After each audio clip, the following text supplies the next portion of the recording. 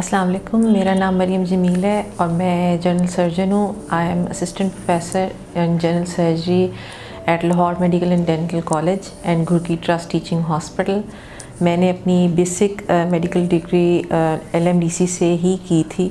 Uh, उसके बाद मैंने जनरल सर्जरी में एफसीपीएस किया है college of physician and surgeon Pakistan से और मैंने एमआरसीएस किया है रॉयल कॉलेज ऑफ़ एडमब्रा से।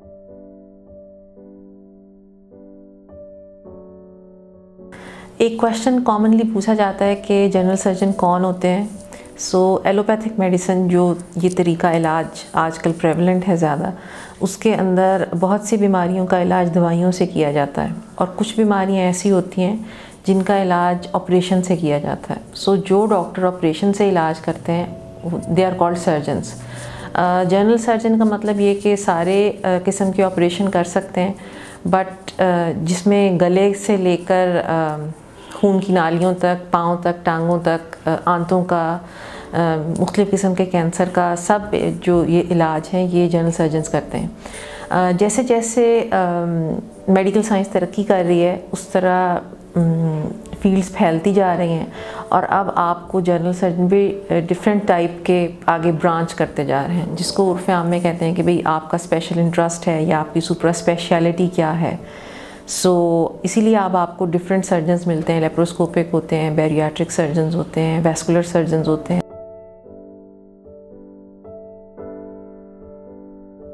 मेरा जो बेसिक फ़ील्ड ऑफ़ इंटरेस्ट है वो है कोलोरेक्टल सर्जरी और ब्रेस्ट एंड एंडोक्राइन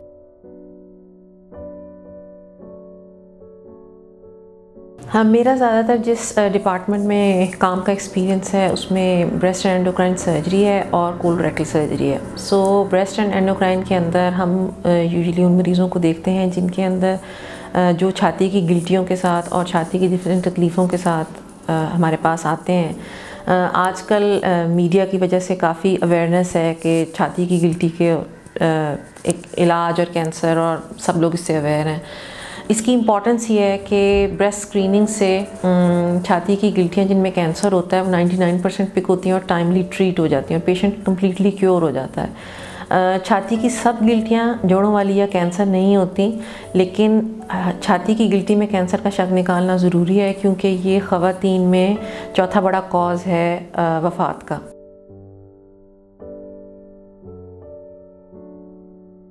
थायराइड अपनी बीमारी में इन्वॉल्व हो जाता है, गिलड़ की शक्ल में पेश होता है तो उससे मरीज़ को जो मेन मसला होता है वो ये कि उसका लाइफस्टाइल इफ़ेक्ट होता है।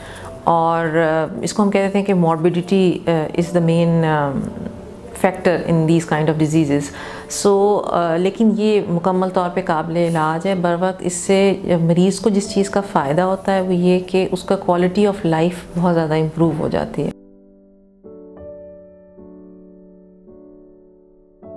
तीसरे किस्म के मरीज़ जो मैंने काफ़ी ज़्यादा देखे हैं, उसमें मेरा एक्सपीरियंस है, वो है कोलोरेक्टल सर्जरी के। कोलोरेक्टल सर्जरी उन पेशेंट्स वो में वो पेशेंट्स आते हैं जिनके अंदर बेसिकली बड़ी आंतों के और आंतों के मसले होते हैं। सो so, uh, आजकल का दौर बाईसवीं सदी है मॉडर्नाइजेशन अर्बनाइजेशन हो रही है। हर चीज़ के अंदर uh, सोने के टाइमिंग्स के अंदर खाने पीने के अंदर और हमारे जो um, सारा लाइफस्टाइल है वो चेंज हो गया है। और इसके साथ जो बहुत सी चीज़ें हमें मिली हैं as a result of that उसमें हमारे बड़ी आंत के मसले हैं जिसके अंदर जो है पेशेंट्स को डायरिया कॉन्स्टिपेशन और उसकी वजह से होने वाले कॉन्सिक्वेंसेस हैं। एक बड़ी चीज़ उसके अंदर है बड़ी आंत का कैंसर जो कि अब यंगर एज ग्रुप में भी मिलता है।